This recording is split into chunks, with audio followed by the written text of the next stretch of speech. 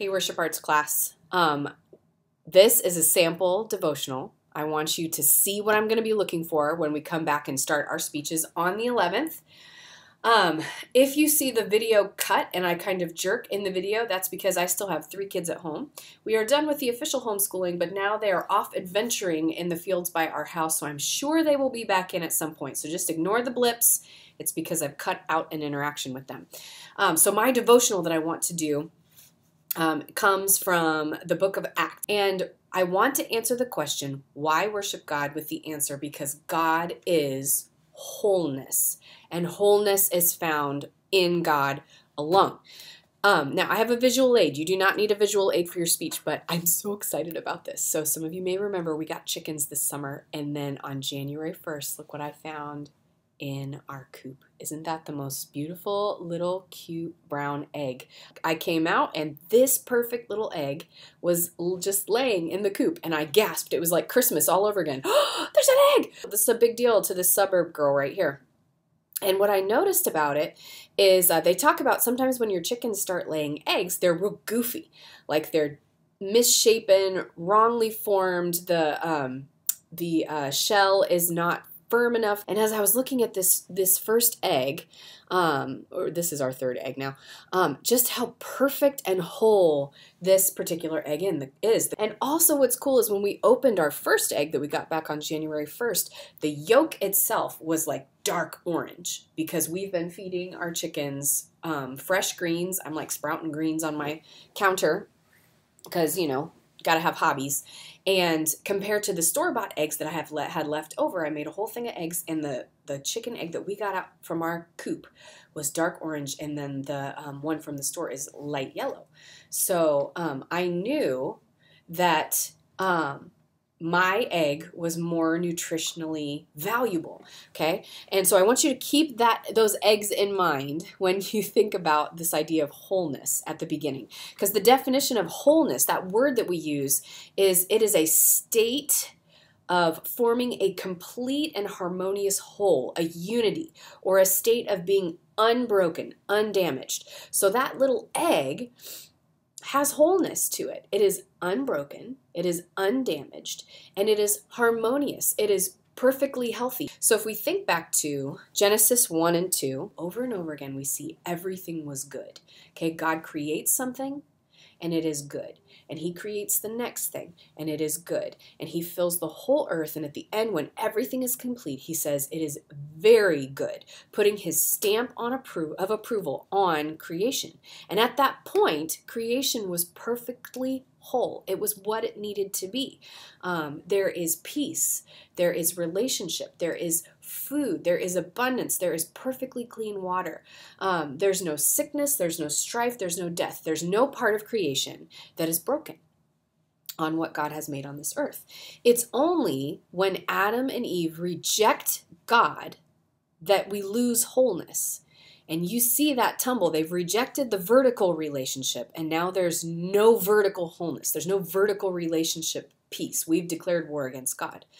Um, and then internally, immediately they become afraid and shame. There's shame. It says shame comes into their lives, and they're trying to um, sew clothing for themselves, and they're hiding from God when He comes to look for them.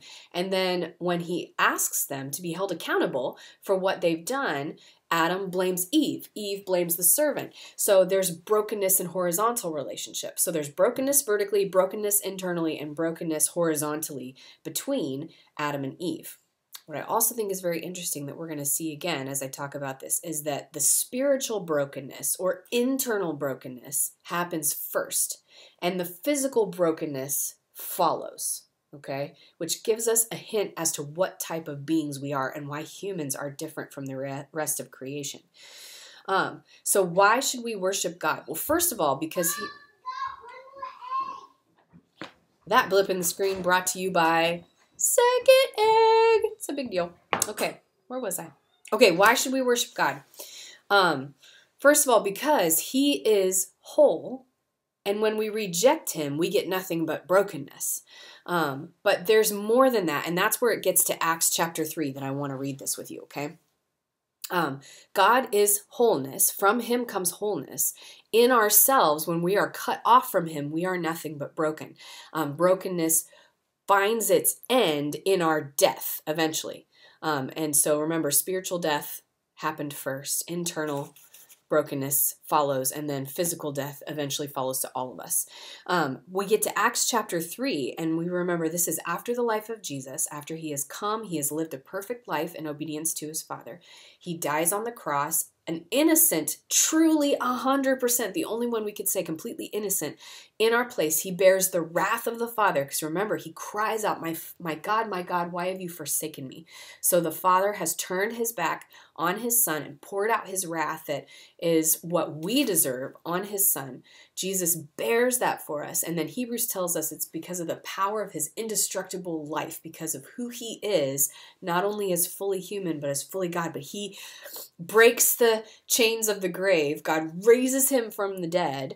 Okay. And that's basically like a check clearing in the bank that shows that his payment was enough. He comes back from the dead.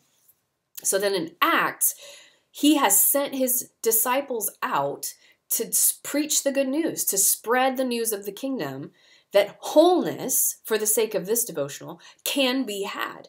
So we get to chapter 3. I was reading this in my quiet time a couple days ago. It says, Now Peter and John were going up to the temple at the hour of prayer, the ninth hour, and a man who was lame from birth, so some something happened, some birth defect in the womb, he's been lame, he can't walk um, was being carried in. They laid him daily at the gate of the temple that is called Beautiful Gate to ask for alms of those em- entering the temple. So he's begging for money. Seeing Peter and John about to go in the temple, he asks to receive alms. And Peter directs his gaze at him, as did John, and he said, Look at us. And he fixed his attention on them, expecting to receive something from them. But Peter said, I have no silver and gold, but what I do have I give to you. In the name of Jesus Christ of Nazareth, rise up and walk. And he took him by the right hand and raised him up, and immediately his feet and ankles were made strong. And leaping up, he stood and began to walk, and entered the temple with them, walking and leaping and praising God. And all the people saw him walking and praising God, and recognized him as the one who had sat at the beautiful gate of the temple asking for alms. And they were filled with wonder and amazement at what had happened to him. So I'm going to pause there for just a second we see right here a powerful example of God's power restoring physical wholeness to this man. And I think it's so interesting that this is a wholeness that he never had. He was born without it. It wasn't like there was an injury at some point in his life and he had started out physically whole um, and then he lost it and then it had been healed. This was a wholeness he had never experienced in his life. And Peter and John come in and they're like, I'm not just going to mitigate your circumstances by giving you some money since you can't work for a living. Instead, it's Christ's power that comes in and through them just saying, In the name of Jesus of Nazareth, be healed, get up and walk. And his whole physicality that's been completely broken his whole life, and we find out later he's over 40 years old, so over 40 years of brokenness he's whole. His physical body is made whole. And and the proof of this is it's not just like he staggers like a little you know newborn giraffe to his feet. He jumps up and he's leaping and running. So we see that it's not just like the physical ability to walk was restored but like perfect muscles, perfectly formed tendons, things that had never worked right were all in perfect working order, and he didn't have to physical therapy work up to them. But we keep going and we see that this physical wholeness was actually given so that true root spiritual wholeness could be declared to all the people there. So this miracle wasn't about just this one guy. The physical part was, but it was to open the door for the rest of these people to hear the truth about wholeness. It says, while this man clung to Peter and John, all the people around them, utterly astounded, ran together to them in the portico called Solomon's portico. And when Peter saw it, he addressed the people Men of Israel, why do you wonder at this? Or why do you stare at us as though by our own power or piety we have made him walk? The God of Abraham, the God of Isaac, the God of Jacob, the God of our fathers glorified his servant Jesus, whom you, whom you delivered over and denied in the presence of Pilate when he had decided to release him. You denied the holy and righteous one and asked for a murderer to be granted to you. That's the whole episode with Bar- Barabbas. Barabbas, whatever. And you killed the author of life, whom God raised from the dead. To this we are witnesses, and it's his name, by faith in his name, that has made this man strong, whom you see and know. And the faith that is through Jesus has given this man perfect health in the presence of you all. And now, brothers, I know that you acted as ignorance, as in ignorance, as um, also did your rulers. But what God foretold by the mouth of all the prophets that his Christ would suffer, he thus fulfilled. And here is where the wholeness comes in that Peter is preaching them. He says, Repent, therefore, and turn back. Okay, because they'd rejected God. They'd rejected his Messiah. They crucified his Messiah. He says, Repent and turn back that your sins may be blotted out. And that's where the real wholeness comes in, the message of wholeness. The physical thing was for that lifetime. Okay, that 40 something year old man, the physical healing was for the however many decades he had left on this earth. But Peter and John were getting right here at the, the eternal wholeness that all of us need, the eternal restoration that all of us need. Our sin is what separates us from God. Sin is anything we think, say, or do that is against God and who He is. And so he says, Repent, turn back that your sins may be blotted out. The idea of blotting is to push down and take out the color from something. I have to blot clothing when stains happen all the time. If you scrape it, it digs it into the fiber. If you blot it, it starts to pull that color out. And he says, Take, you know, repent so that your sins may be blotted out. And then times of refreshing may come from the presence of the Lord.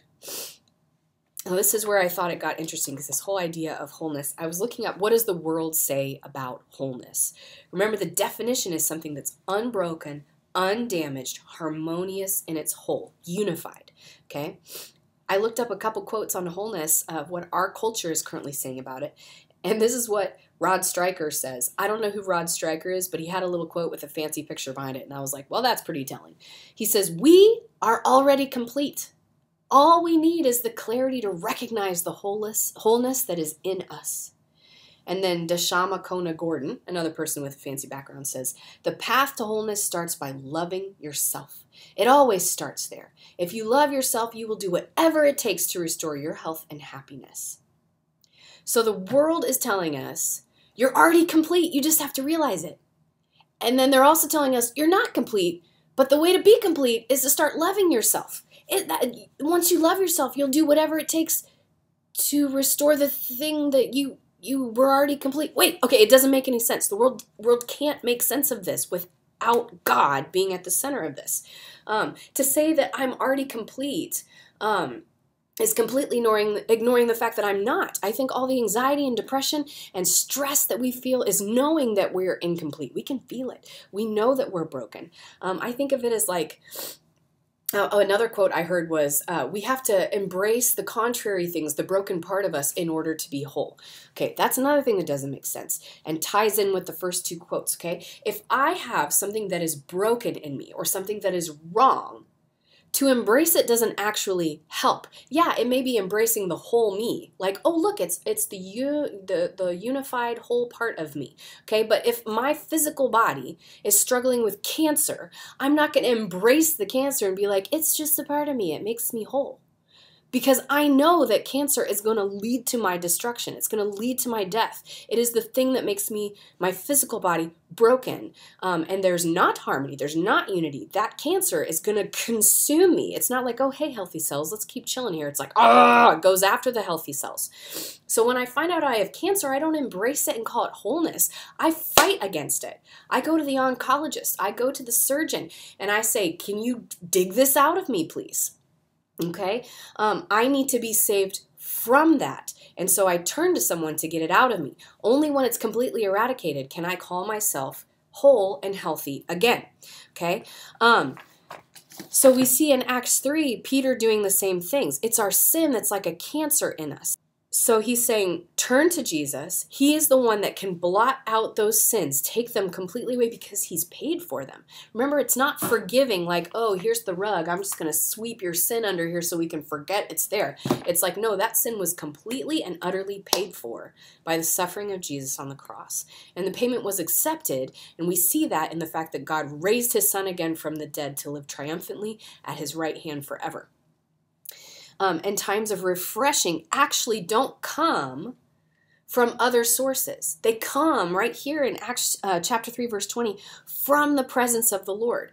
Refreshing or wholeness or or what we need to be complete comes from his presence, not from a change in circumstance. And the only way we can be in his presence is if we repent and turn from our sins and believe in Jesus and surrender our lives to him. Okay, so that's my answer to why we worship God. Okay, not because just He is wholeness, and that's enough reason right there to worship Him, um, but because wholeness comes from Him. He actually can restore it in broken people. And then what's really cool is that um, God has always been this way. Remember, Peter, he said, It's the God of Abraham, the God of Isaac, the God of Jacob, the God of our fathers who has glorified his servant Jesus. So, this plan for the restoration of wholeness started way back in Genesis 3 when we messed everything up. And he promised that through Abraham, uh, sorry, through the offspring of Eve, um, that, that um, Satan would be crushed, that a redeemer would come through, and then later in Genesis uh, 12, through Abraham, all nations would be blessed, God has been working through purchasing, restoring our wholeness um, since the beginning. So that moves me to want to worship um, the God who is wholeness and can restore wholeness. Now, I know this Devo was a lot longer. I got really excited to talk to you guys about this. It only needs to be five minutes. If you find that you're taking longer when you're um, working this out, that's totally fine. Um, because if you're glorifying the Lord and bringing in uh, great encouragement to our hearts, I'm all about that. So I'll see you guys on the 11th.